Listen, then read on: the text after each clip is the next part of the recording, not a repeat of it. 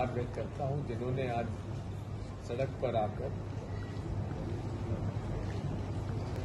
शासन के इन आदेशों का और इस व्यवहार इस रवैये के खिलाफ उन्होंने हमारे आंदोलन में भाग लिया। मीडिया के लोगों से मैं यही कहना चाहता हूँ कि हालात इन सात साल में कितने बिगड़ गए हैं ये सीमे या सीएमआई की रिपोर्ट भी आप देख लीजिए। जहाँ पौने ग्यारह लाख मीडिया में लोग सेवा कर रहे थे, नौकरी कर रहे थे। घटकर केवल पौने तीन लाख लोग रह गए।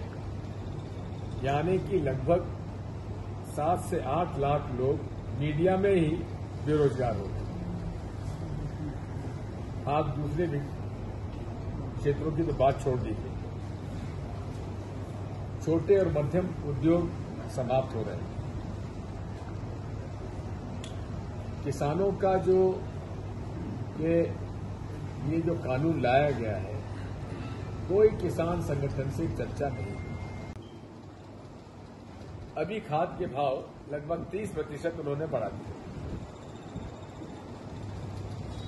लेकिन कृषि उपज के भाव घट रहे हैं।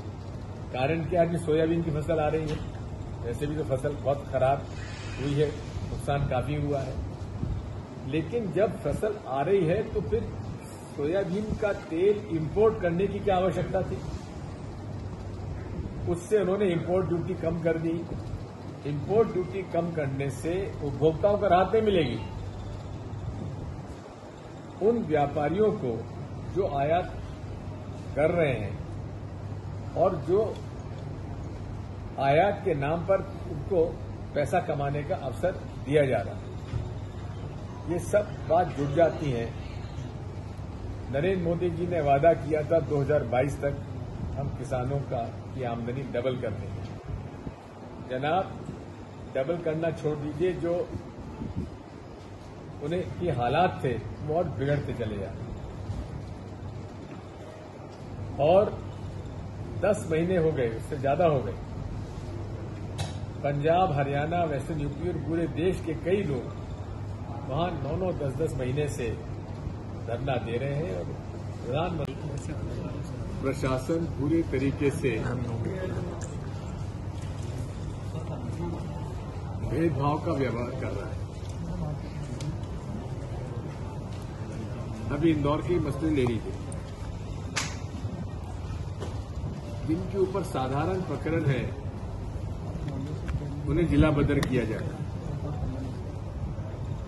जो आदतन अपराधी है जिन पर 307 लूट, कट्टा, अनेक जो अपराध दर्ज है,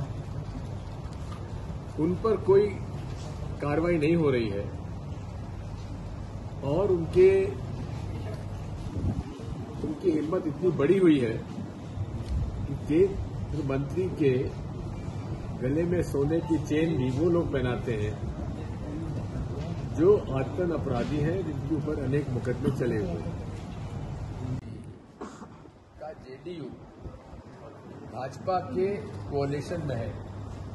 समझौते की सरकार बिहार में और दिल्ली में चल रही है। लेकिन नीतीश कुमार जी पर्सनली प्रधानमंत्री से अनुरोध करने गए। कि कास्ट बेस्ड सेंसस होना चाहिए जो कि कांग्रेस के रिजीम में तय हुआ था। 2011 में। अब दूसरे दिन ही एफिडेविट जब सुप्रीम कोर्ट ने दिया, सरकार ने तो साफ़ मना कर दिया कि हम किसी भी तौर पर कास्ट बेस्ड सेंसस नहीं कराएँगे। ये नीतीश कुमार जी के का जो था उस पर एक बहुत बड़ी प्रतिक्रिया नरेंद्र मोदी जी की केंद्र सरकार ने की है और उनकी इस मांग को ठुकरा कर साफ़ तौर पर नीतीश कुमार जी के प्रतिष्ठा को आघात होना स्वाभाविक है। लेकिन नीतीश कुमार जी पता नहीं किन कारणों से दबे हुए हैं कि इस अवमानना को भी वे स्वीकार कर रहे हैं। पूरे देश भर में ये सबको पता है। पर पंजाब में हाल देख लीजिए तो कभी सीएम इस्तीफा दे देते हैं। आज सिद्धू ने इस्तीफा दे दिया। वहीं तो कांग्रेस की स्थिति अच्छी है। उसके बाद भी सीएम का जाना फिर सिद्धू का जाना ये किस तरह के संकेत है? बाकी राज्यों में बीजेपी चेंज करी समझ में आता है। पर कांग्रेस को क्या ज़रूरत थी वह चेंज करने बात वही है। बीजेपी चेंज करती है तो मास्टर स्ट्रोक मास्टर स्ट्रोक और कांग्रेस जो करती है तो ये अव्यवस्था। यही तो फ़र्क है आप लोगों का। Bureau report J S R times. खबरों के लिए सब्सक्राइब करें जे एस आर टाइम्स और साथ ही नोटिफिकेशन पाने के लिए बेल आइकन को दबाएँ।